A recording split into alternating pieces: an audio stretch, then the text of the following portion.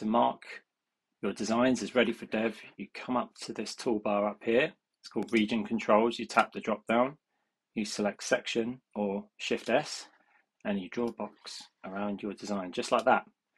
And then you tap this little doobly doo up here, it says mark ready for dev, and it turns green. And that is it. That is your design marked ready for dev.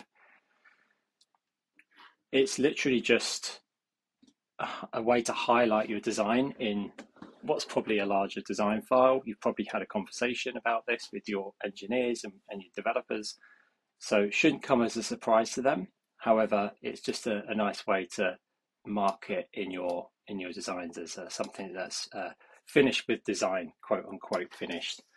Uh, you can make it a little bit neater like that.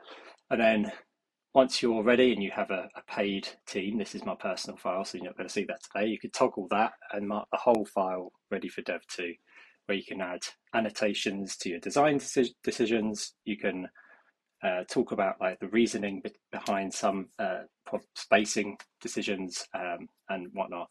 Uh, so it's super useful. I'm not going to lie, I would have thought this would have been a little bit easier to do. I w- I'd expect like a right click um, on the frame itself and then maybe something in this drop down here. Feels a bit messy for me personally. I like to have all my layers nice and neat. It feels a bit like a, a wasted nest to have it another step down, but hey ho, it's a, uh, minor minor bugbear. But yeah, if this is something you're interested in, like and subscribe. If there's any other tips about marking things ready for dev, let me know. I'm all ears. Um, have a great day.